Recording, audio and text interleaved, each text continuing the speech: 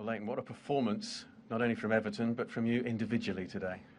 Yeah, we were, we were a bit disappointed with ourselves when we come in at half time. We thought we hadn't quite done enough. We weren't our normal selves, but we upped the tempo in the second half. We were more purposeful, um, and obviously we got the goals and the most important thing, which is the win.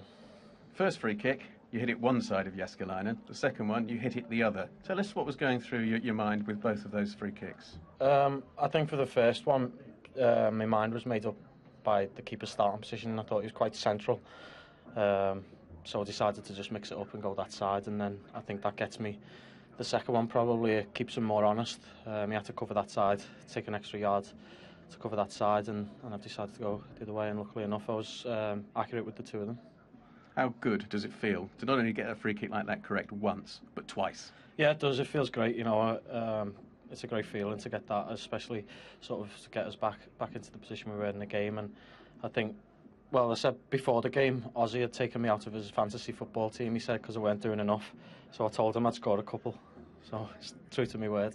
Talking about goal scorers, Romelu Lukaku made a scoring debut with what proved to be the winner. What were your thoughts on his performance today?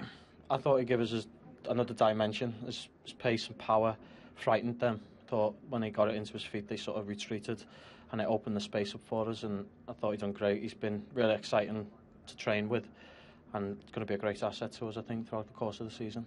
Two wins following on the back of three draws now in the Premier League, so you remain unbeaten. Mood must be very, very good. Yeah, it is because, as I say, we were a bit disappointed at the start with the draws because there were games we'd done well enough to win. Um, so to get a big win last week against Chelsea was great, and we knew we had to carry that momentum on today. So we've built on that. As you mentioned there, we're still unbeaten. So, you know, the mood's very positive.